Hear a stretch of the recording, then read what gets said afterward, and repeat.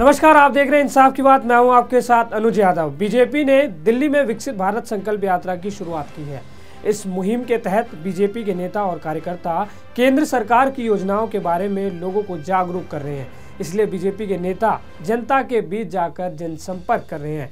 इसी बीच दिल्ली के मदनगीर में बीजेपी के सांसद रमेश बिधुड़ी विकसित भारत संकल्प यात्रा को लेकर पहुँचे। इस दौरान उन्होंने केंद्र सरकार की योजनाओं के बारे में जनता को बताया। इसके साथ उन्होंने आगे क्या कुछ कहा, सुनिए।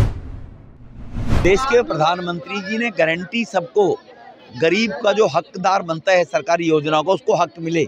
इसलिए मोदी जी की गारंटी वाली गाड़ी है ये। ये पूरे देश में, हर गाँव में, ढाणी में, कॉलोनी में, बस्ती में जा रही है।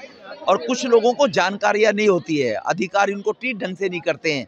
इसीलिए ऐसे लोग उज्ज्वला योजना से, गैस कनेक्शन, आयुष्मान भारत योजना से अपना रजिस्ट्रेशन कराएँ इलाज कराने के लिए। आधार कार्ड ठीक कराना है, अपना डेट ऑफ़ बर्थ वगैरह गलत है।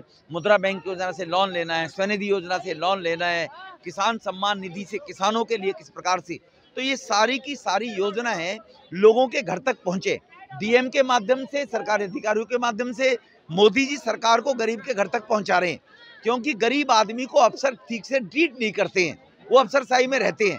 इसीलिए अब आगे से एक और वो मोदी साहब ने आदेश कर दिए अब डीएम जाकर अपने इलाके में एक बार सोएगा वहीं, एक कॉलोनी में, वहाँ के लोगों की समस्या देखेगा।